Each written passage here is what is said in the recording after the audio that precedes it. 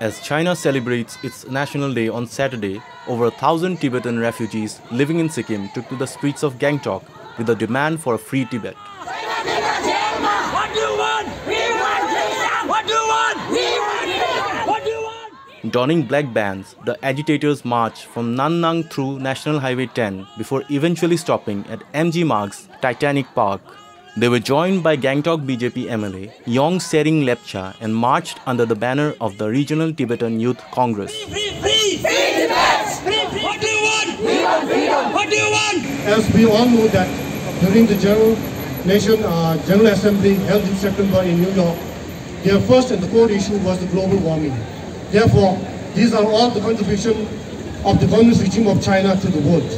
Not only this, they have also massacred their own students in 1989 during the Tiananmen Square massacre. As everyone knows that the corona, COVID-19, which came from China, that have killed millions of people all over the world. We in Gangtok, we have lost our near and dear ones. So these are all responsible to the communist regime of China that is celebrating its 73 National Day in China today.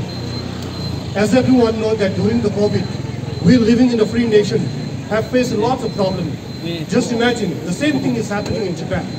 In Tibet, in the name of zero COVID policy, the Chinese government is taking a steeper protocol step.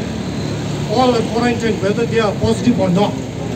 They are all quarantined in a house, whether they are positive or not. Recently, five Tibetan committed suicide in three days due to the extreme Chinese policy. So therefore, I would like to request all the international communities and all the Tibetan people and all our brothers and sisters in Sikkim to support, come forward and support the Tibet cause.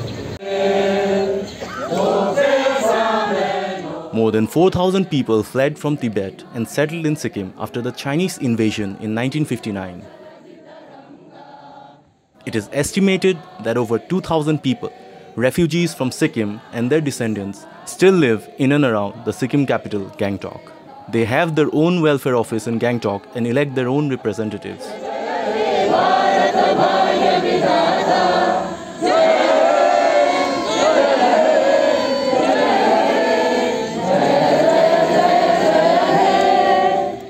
Don't forget to like, share, and subscribe to East Mojo. For any queries, put them down in the comments section below and press on the bell icon for notifications.